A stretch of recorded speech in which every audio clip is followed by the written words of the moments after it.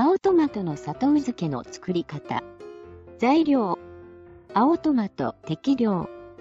塩、青トマトの2%。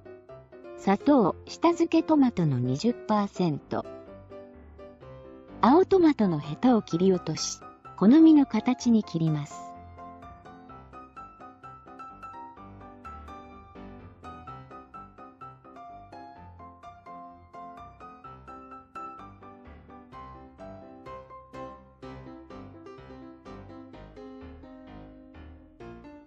トマトの重さを測って塩を準備します。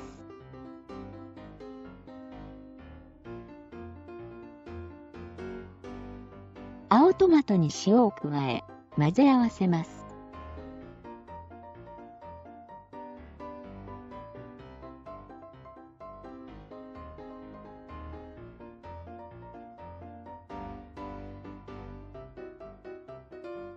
混ざり合ったら保存袋に入れます。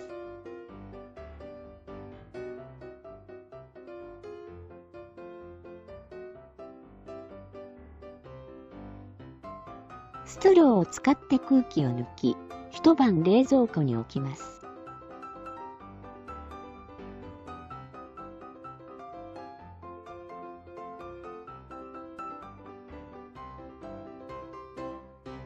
翌日、ざるに入れて水気を切ります。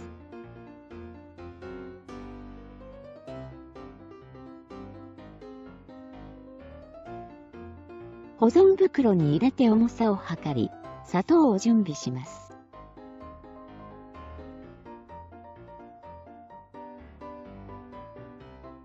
砂糖を加え、よく混ぜ合わせます。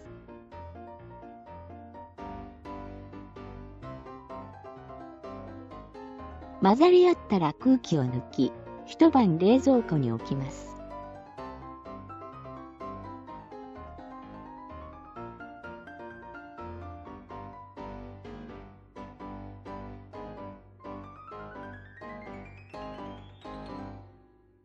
青トマトの砂糖漬けの完成です。